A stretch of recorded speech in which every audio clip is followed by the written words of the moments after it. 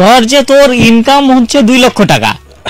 হ্যাঁ তুই খরচ করে আসলে আড়াই লক্ষ টাকা। কেমন লাগে তাহলে বলতো? এটা একটা বুকের পাটা থাকে লাগে ভাই। থাকে না? এরপরে যে বুকে একটা চিন চিন ব্যথা করে। হ্যাঁ, বুঝছ? এই ব্যথা এই ব্যথা মনে কর যে ডান পাশেও লাগে না বাম পাশেও লাগে না। এই ব্যথাটাও কিন্তু বুকের মাঝখানে একদম। কথা হলো যার বুকে অত বড় পাটা তার এটা তিন দিন ব্যথা করব। তাও যে একটু চিন চিন ব্যথা সেটা বাইচা গেছে মোটামুটি। অত বড় পাটা থাকার পরে তো ধরো ধরো ব্যথা করার কথা। হ্যাঁ। পাটা পুতা যে পিষে না পিসার হ্যাঁ, শব্দ হ্যাঁ। হওয়ার কথা। কেমন যেন লাগতেছে। ও আমার বোধ জোরে জোরে শ্বাস নেওয়া উচিত। তোর তো আরও জোরে নেওয়া উচিত। আপনি জোরে নিয়ে যে বাতাসে আবার হয়ে যাবে সমস্যা নাই। তবে তবে? তার মানে আপনার দুই লাখ টাকা ইনকাম আছে ভাই রে ভাই ভাই কালকে আপনার জন্যই খরচটা হয়েছে বুঝছেন? যাই হোক আপনার শুনছেন ইভেরি presence nut ball to the two one kings only on Capital FM ninety four point eight এত রিকোয়েস্ট করার পরেও আপনারা তো শুনছেন না। রাস্তায় যে আমাদের একটু সাইড দিবেন আমরা সোজা চলে আসব। সেটা তো আপনারা দিচ্ছেন আমি দেখছি তো। হ্যাঁ, হ্যাঁ। আপনাদের ব্যবহার দিন দিন যে কতটা খারাপ হচ্ছে সেটা আমরা বুঝতে পারছি। রাস্তাঘাটে কিন্তু আপনার কেউ সাইড দিতেছেন না সাইড। দেয় না।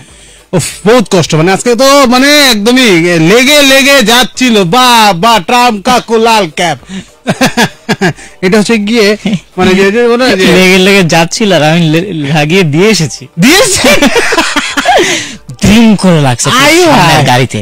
আই আচ্ছা, আমি তো শেষ পরে দেখলাম বাম্পার আছে সামনে।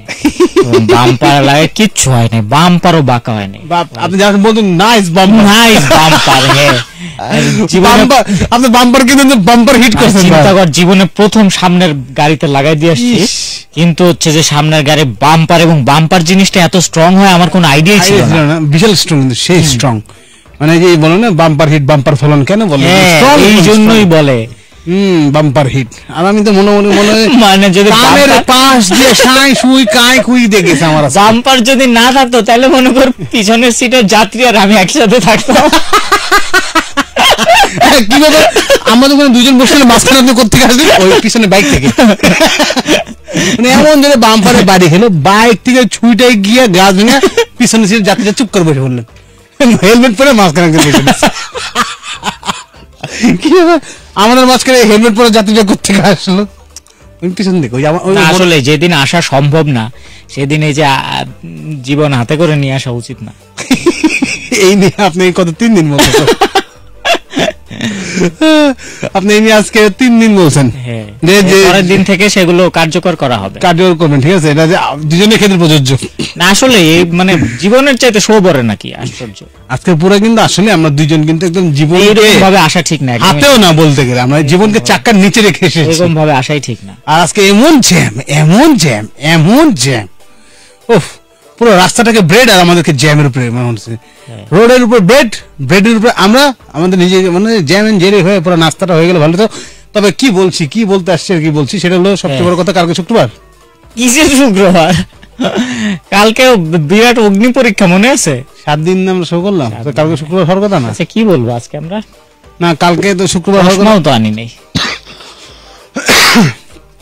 কালকে যদি শুক্রবার না হয় তাহলে কালকে কি বার? কালকে হচ্ছে গিয়ে আমাদের আমি বলি শুক্রবার শনিবার রবিবার হ্যাঁ। শ্রমবার সোমবার। আজকে কি শ্র- শ্রমবার হ্যাঁ। আজকে শ্রমবার শ্রমবার তাহলে মঙ্গল মঙ্গলবার। বৃহস্পতি শুক্র। আহ ও বহুত দিন এই শুক্র ফ্লেভারটা প্রতিটা বারে থাকলে না ভালো লাগে। যে শুক্রবার তো চলে যেতে কি হয়েছে? শনি রবি শ্রম শ্রম ব্রুত বৃহস্পতি মঙ্গল এগুলো থাকবে। ব্রত মুখ দিয়ে বেরিয়ে যাবে। দেখ বলতেছে যে বিয়ে হইলে বাচ্চার নাম রাখব সর্বনাশ। যাতে মাঝে মধ্যে বউয়ের লগে রাগারাগি করলে বউরে গলা উঁচা করে বলতে পারি তোমারে বিয়া করে আমার সর্বনাশ হইছে। সর্বনাশ হয়ে গেছে। বলে কি রে তোর না কয়দিন আগে একটা সন্তান হলো? বলে হ্যাঁ হয়েছে তো নাম কি রাখছস? বলছি নাম রাখছি হুশ। হুশ? বলে হে আবার কেমন কথা? বাচ্চার নাম কেউ হুশ রাখে? বলে রাখিব না কেন? ওর আব্বুর নাম তো ডুস কই আব্বুর নাম ডুস ডুস, বাচ্চার নাম হুশ? বলে হ্যাঁ আমার তো ঢুস খাইয়ে হুশ হয়েছে তাহলে তোরা তো জানোস না, আমার তো ঢুস খাইয়ে হুশ হয়েছে এরকম ঢুস খাইয়া হুশ আমাদের হবে মাঝে মাঝে। আর যেটা হচ্ছে বাচ্চার নাম রাখতে সাবধান। কখনোই হাসপাতালে থাকা অবস্থায় বাচ্চার নাম রাখবেন না। আমার এক মানে ফ্রেন্ডের ছেলে হয়েছে তো নাম রাখবে।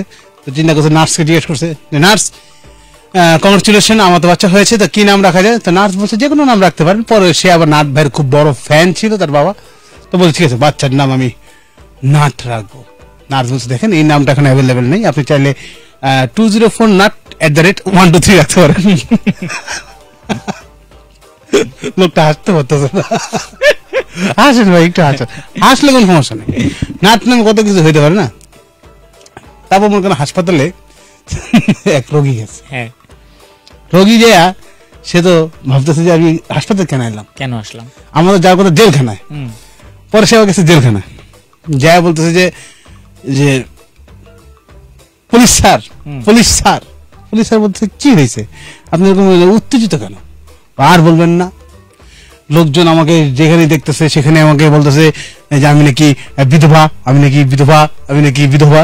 বলে আচ্ছা এত ঝামেলার মধ্যে এটা কোনো কমপ্লেন হলো হ্যাঁ এনে মানুষের মার্ডার হয়ে যেতেছে কেউ খুন হয়ে যেতেছে কারও কোটি কোটি টাকা লুট হয়ে যেতেছে কারও বাসায় মাদক ধরা পড়তেছে কারও হিরোইন ধরা পড়তেছে কারও বন্দুক নিয়ে ধরা পড়তেছে আর আপনার এসেছেন এটা। আপনার বিধবাটাকে এটা আমি কেস সলভ করব। হ্যাঁ। না না স্যার এটা আমাকে সলভ করে দিতে হবে। আমার খুবই প্রেস্টিজিয়াস এটা মানহানি মামলা করব আমি একটা। আপনি আমার বিধবা বলে কেন? আচ্ছা। বললাম না তা আপনি বিধবা না? না আমি বিধবা না তো। এই দেখেন আমার স্বামী আছে। গোগো এদিকে আসুন।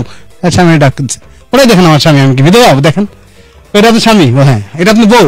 জি স্যার এটা আমার বউ। ভেরি গুড দাঁড়ান। পকেট পিস্তল বের করে স্বামীর মাথা দিয়ে গুলি ঠিক আছে বাপ, এবার আপনি বিধবা যা বিধবা যা চল। বিধবা সামনে থেকে সব সময় শর্টকাট দেন। ঝামেলা মিটাইতে হবে। এত ঝামেলা মেটার জন্য দূর হয়ে যাবে না। শর্টকাট এরকম করে এক মহিলা পুলিশ স্টেশনে আসছে এসে বলতেছে দেখেন আমার স্বামী হারা গেছে একটু খুঁজে দিবেন কি? মানে কোনো পাত্তা নেই। ওর স্বামী হারাইছে আপনি যেমনি কইতেছেন মনে হচ্ছে আপনার রুমাল হারাই গেছে। মানে আপনার টেনশনের চেহারার মধ্যে বিরক্ত আপনি স্বামী হারাই গেছে। আপনি কানবেন কয়, না না দেখেন ও মানে ও একটা বিরক্তিকর লোক ছিল। আমি খুঁজে পাচ্ছি না কি করব আমি খুঁজতে তো হবে। এটা আমার স্বামীকে একটু খুঁজে দেন। রাজা ঠিক আছে আপনার স্বামী দেখতে কেমন বলেন তো? দেখতে কেমন? তখন তো ভালো করে দেখিনি ভাই বলতে আমি জানি না। জানি না। তাহলে তো হবে না। কি রকমের শার্ট পরছে বলতে পারবেন? ওই তো দেখছেন আমি তো কোনদিন শার্ট কিনে দেই নাই। আবার বাইরের সময় কোন মানে মিন সেটা কি যে পরে বেরিয়েছে? আমি না ভাই বলতে পারলাম সরি স্বামী আচ্ছা স্বামীর সাথে কিছু নিয়ে গেছে? হ্যাঁ হ্যাঁ আমার আদরের কুকুরটা দিয়ে চলে গেছে। এত বড় বড় লোক। চোখে একটা কালো, লেজ পরা ছিল গলায় নীল বেল্ট তার লেজে আমি একটা রিং পরাই দিয়েছিলাম গলার মধ্যে এইচ লেখা আছে, আমার নামে হেনা তো, হেনার এইচ লেখা আছে। ওকে দেখলে যে কেউ আদর করে করে নিয়ে টুকু টুকু টুকু করতে ইচ্ছা করবে বুঝছেন? তারা হাইট হলো মনে করে আড়াই ফিটের মতো লম্বায় সাড়ে তিন ফিট। আর লম্বা গুলো লোমগুলো যে আড়াই ইঞ্চি করে। কয় বলছি থামে না পা। আমরা কুত্তাটা খুঁজে বাই করতেছি। এরপর আপনি স্বামীর আমরা পাই দেবো মনে কুত্তার যা ডিটেলস দিচ্ছেন এত আমরা কুত্তা খুঁজে বের করে আমি তো কোনো ডিটেলস দিতে পারলেন না। আমরা কুত্তা ডিটেলস দিয়ে আপনার স্বামীকে খুঁজে বের করব। যে ইয়ে করছে ডিটেকটিভ অফিস খুলছে বুঝছিস। ডিটেকটিভ অফিস খুলছে। তিনজন মিলে। ওকে সর্বপ্রথম করছে কি? যে খুনের ময়না তদন্তের জন্য আমাদের খুনের স্পটে অন দ্য স্পটে আমাদের দ্রুত পৌঁছাইতে হবে। সবার আগে ওরা করছে কি? অফিস অফিসের বদলে একটা গাড়ি কিনছে। যে অফিসে বৈশা অফিস গাড়িতে বসে অফিস করাটা বেশি গুরুত্বপূর্ণ। কেউ ফোন দিবে কেউ আসবে সরাসরি তারে নিয়ে আমরা অন দ্য স্পটে চলে যাব।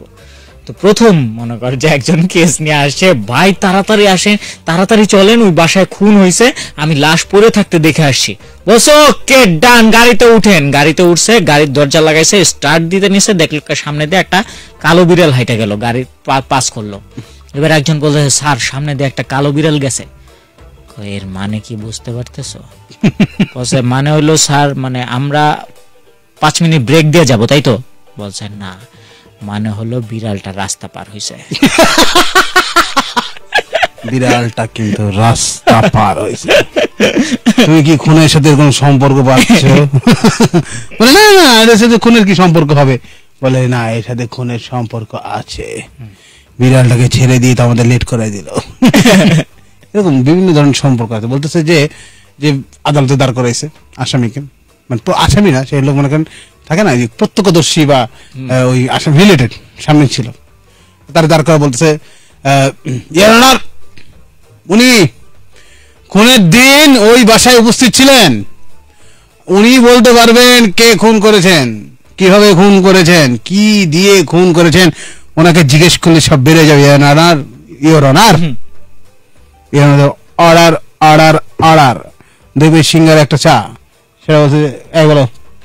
খুনের দিন সকালবেলায় তুমি কি খুনির বাসায় ছিলে? যে খুন হয়েছে তার বাসায়? জি স্যার আমি সেই বাসায় ছিলাম। ভেরি গুড কেস তর্ধেক হয়ে গেছে সেটা আচ্ছা। সলভ এখনই হয়ে যাবে দাঁড়াও। তুমি যিনি খুন হয়েছেন তাকে তুমি চিন্তা? জি স্যার আমি চিনতাম এইটটি পার্সেন্ট সলভ এখন প্রশ্ন তার উত্তর দিলেই শেষ প্রশ্ন একবার দেখবা সলভ সমস্যা। তুমি সেদিন তোমার পরিচিত যে মানুষটি খুন হয়েছে, তার বাসায় গিয়ে তুমি কি দেখেছ? এখন আমাদের সবাই বলে দাও, খুন সব মানে সমস্যার সমাধান। মামলা ফিরিস, আসামিকে গ্রেফতার করা হবে। জি স্যার, খুনের দিন সকালবেলায় যে খুন হয়েছেন আমার মামা, আমি তার বাসায় ছিলাম। তার বাসায় আমি গিয়ে ঢুকলাম, প্রথমে ঢুকে দেখি মামাকে দেখতে পাচ্ছি না। অনেকক্ষণ দেখি ডানে তাকালাম মামা নাই। মা আমাকে দেখতে পাচ্ছি না। বামে তাকালাম বামেও মামা নাই। নিচের দিকে তাকালাম দেখলাম টিভি। নিচে রিমোটটা নামাইলাম। আচ্ছা। রিমোটটা নিয়ে রিমোটটা ছাড়তেই বিশ্বাস করবেন না স্যার। মান্নার বাস্তব ছবি শুরু হয়েছে তারপর আমি তিন ঘণ্টা বাস্তব ছবি দেখছি কি হয়েছে কইতে পারতেছি। আমি এত সিনেমার মধ্যে মগ্ন ছিলাম। হ্যাঁ। পরে তিন ঘণ্টা পরে পুলিশ ঢুকছে বলে যে খুন হয়ে গেছে। ও বলতে আমি দেখিনি স্যার মাফ করে দেন। এইটি পার্সেন্ট সলভ মানে কখনো 100% নামায় নিয়ে আসে। হান্ড্রেড পার্সেন্ট শিওর নয় কোনো কথা বলতে ধরেন তো কেসটা বারোটা বলে। হ্যাঁ, তো হান্ড্রেড পার্সেন্ট একটা জিনিসে শিওর সেটা হচ্ছে যে অনেকগুলো বিরাট একটা ব্রেক দেখতে পাচ্ছি আমি তাই তো? হ্যাঁ বিরাট ব্রেক দিব আমরা একটা। সে এক বিরাট কাহিনী। সে এক বিরাট কাহিনী। তবে আমরা কখন ফিরে আসি তা তো আপনি জানেন। দেড় দুই ঘণ্টা। শো এক ঘণ্টা ফিরে আসি দেড় দুই ঘণ্টা পরে। আমরা চব্বিশ ঘণ্টা পরে ফিরেছি মাঝে মাঝে। তো শুনছেন Evaly presents nut ball to the true fun kings hmm. S M S করার জন্য লিখবেন সি এফ এম স্পেস দিয়ে নাম স্পেস লোকেশন স্পেস আপনার যে কোনো কথা লিখে পাঠিয়ে দেবেন two six nine six nine এই নম্বরে। আর কমেন্ট করার জন্য capital F M ninety four point এইটের ফেসবুক পেজে একটি লাইভ হচ্ছে সেখানে আপনি কমেন্ট করবেন লাইভটি শেয়ার করবেন। আর ফোন কি বাজে দেখো তো। বাজে। বাজে ফোনে বাজে ফোন বাজে বাজে ফোনটা এখন ঠিক হয়েছে। আপনি সাতটা চল্লিশ থেকে কল করতে পারবেন। Zero two double five zero three double six five nine এই নম্বরে। তো যাই আমরা। জি। তাহলে আমরা ছোট্ট বিরতি পরে ফিরে আসছি। কেউ করতে যাবেন না। হ্যাঁ।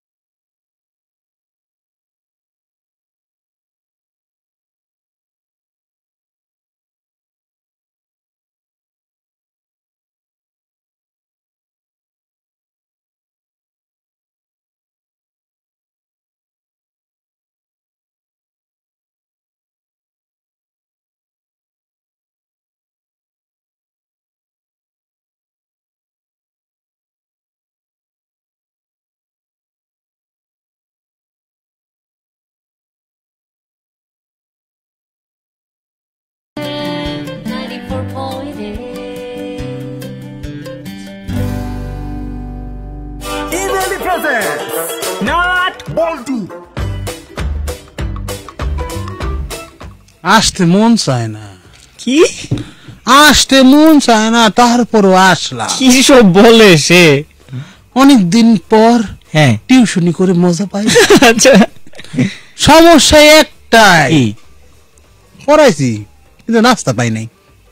এটা ঠিক হ্যাঁ। টিউশনি পড়াতে গেলে নাস্তাটা না পেলে না মনে যে বেতন দিয়েন না তারপর আসলে আমাদের নাস্তাটা দিয়েন। মাঝে মাঝে মনে হয় হ্যাঁ। কি দরকার? আপনার কাইটা রেখে নাস্তা টাকা দরকার হলে তাও খালি মুখে বিদায় দেন না কেমন জানি লাগে। কেমন যেন লাগে। নিউটনের সূত্রটা কত কঠিন মানুষজন মানে মুখস্থ কত শেষ হয়ে যায়। হুম। ফানের মাধ্যমে গানের মাধ্যমে শিখাই দিলাম সূত্রটা পাত্তাই দিল না নাস্তাও দিল না পাত্তা পাত্তাও দিল না। দেন আপনি নাস্তাই দিল না আমারে। আচ্ছা। নাস্তা পাই কিন্তু ভাইয়া পাঠাই দিও। এফএম বুকা জাহাঙ্গীর আলম শেয়ার করেছে শ্যাম্পু দিয়ে বালিশ কাবার ধুইয়া দিছিলাম এখন ঘুমাইলে মনে হয় পাশে বউ আছে। এমডি শফি আহমেদ শেয়ার করেছে এস এম মুকিদ হাতে হারিকেন পেছনে টুট! রতনা হাসান প্রিয়া মনিকে দেখতে পাচ্ছি শেয়ার করেছে তারপরে শেয়ার করেছে কে কে কে? নুসরাত জাহান আনিকা লিখেছিল কেমন আছে? আমি ভালো আছি আমরা। ওকে সিমলাতুর জাহান লিখেছিল আমাদেরকে তারপর হচ্ছে আদিবা রহমান লিখেছিল। সানসিল আক্তার শ্যাম্পুকে দেখতে পাচ্ছি বজ্জাতের হাড্ডি তারপরে দেখতে পাচ্ছি ইফরাত হাসান লিখেছে শর্ত লাগবো কি লাগবো? তাসিন ইমতিয়াজ চৌধুরী শেয়ার করেছে। আচ্ছা তাসিন ইমতিয়াজ চৌধুরী তো কি একটা কমেন্ট জানি করল না হ্যাঁ?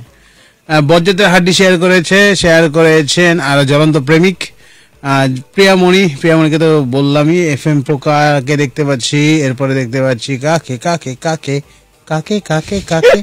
হৃদয়ের মাঝে হোগলার বেড়া। এমডি রাকিব লিখেছিল ভালোবাসা পাঠিয়েছিল আমাদের। জি আর জিশান শেয়ার করেছে এমডি নাজমুল হাসান বিল্লাল শেয়ার করেছে।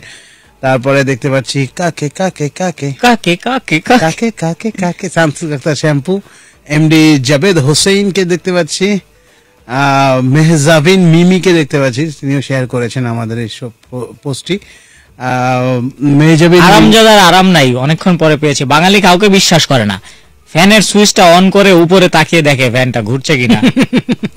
কাকে কাকে কাকে? এফ এম লিখেছিল এখনকার প্রেম লুডো নাকি রেস্টুরেন্ট? আপনি ধরতেই পারবেন না। যা খাওয়া খাওয়ি হয়। খুব ভালো ছিল এটা খুব ভালো।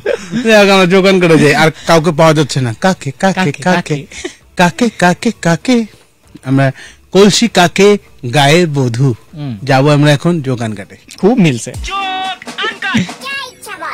মিলুক আর না মিলুক সেলো তো মানে যে রাত বারোটার পর যদি রাত বারোটার পর প্রায়ই আপনার গার্লফ্রেন্ডের ফোন বিজি পান এবং জিজ্ঞেস করলে সে বলে চাচা মামা খালু আঙ্কেলের সঙ্গে কথা বলছিলাম। অথবা আমি বলছিলাম না মা বলছিল। তাহলে বুঝে নিবেন আপনার আকাশ ভরা তারা। নিয়ে গেল কারা? নিয়ে গেল আপনার আকাশ ভরা তারা নিয়ে গেল কারা? বলছে যে এক বিবাহিত লোককে বলা হচ্ছে যে মনে করেন আপনি আজকে প্রায় এক কোটি টাকা লটারিতে জিতলেন। লোক তো পুরো মনে মনে খুশি যা মনে করেন যে এক কোটি টাকা লটারিতে জিতলেন আর সাথে সাথে আপনার বউকে কেউ কিডন্যাপ করে এক কোটি টাকাই চাইলো। আপনি কি করবেন? কি করবেন? কি করব এটা পরের ব্যাপার? কিন্তু আমার মনে হয় না দুইটা লটারি এক লোকে লাগবে। এটা সম্ভব না। লটারি কখনো পাইছিস? হ্যাঁ, আমি পাই। জীবন আমার লটারি লাগে না। আমি পাইছি। কোনো দিনও লাগে না ভাই। হয়েছে এক টাকার আইসক্রিম ঘুরাইলে লটারি লাগলে পাওয়া ওইটা যায়। পাইছি আবার বিভিন্ন কু- ইয়ে চাঁদপুর টাতপুরে নৌবিয়া টোবিয়ার কতটি কিনছে ভাই? আমার পড়ায় মোড়ায় কেনাই আমি একটা লাগে না। কোনোদিন লাগে না। আজকেও যেটা লেগে গেছে সেটা হচ্ছে সময়টা। আচ্ছা গাড়ির সাথে গাড়ি লেগে গেছে। আচ্ছা। সবাই ভালো থাকবেন সুস্থ থাকবেন যেমন খুশি তেমন থাকবেন হাসতে থাকবেন হাসাতে থাকবেন নাট বল্টুর সাথে সবসময় থাকবেন। আজকের মতো বিদায় নিচ্ছি। Tata from Evaly presents nut bolt to the two fun kings. খুদা